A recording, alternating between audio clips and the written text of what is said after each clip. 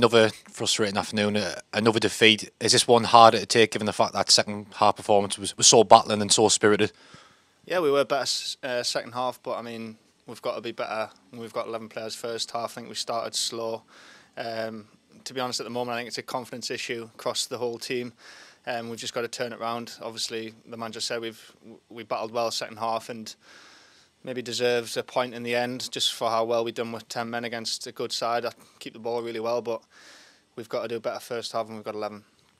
You mentioned the word confidence there. Do you think that's the main difference from the start of the season when we were, we were playing with freedom, we were scoring goals, and the recent run of form? Is it just a confidence thing, do you think? Yeah, anyone that's played football knows that confidence is such a massive part of the game, and if you're struggling for it, you maybe don't want the ball as much as you should, or you don't feel as comfortable getting on the ball, and then that kind of goes throughout the team. Um, obviously, at the start of the season, we were scoring freely, and you know, me and Rob were getting a lot of joy. Um, it was brilliant, and you know, it was great to watch, and we were full of confidence. The fans were enjoying it. We were having, we were buoyant. We loved it. Um, but we're going through a sticky spell and we just need to keep working hard. It's cliche, but we work hard, do the right things on the training ground, and got to turn it around. And I've spoke to, to Tommy, I've spoken to a few people, but the, obviously the red card's a big turning point for, for Joe. What's his view on it from from inside the change room? And what, what did you have a good view of it as well? Because your header, which which was in the build up.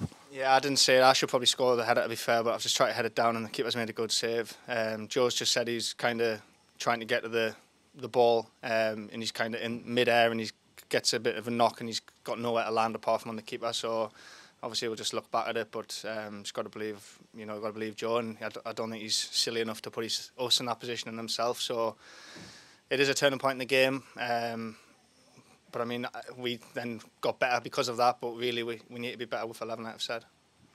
But can we take confidence from that second half performance? Because I suppose we're clutching at straws a little bit, but given recent performances, it's definitely something to go forward to next week against Chorley.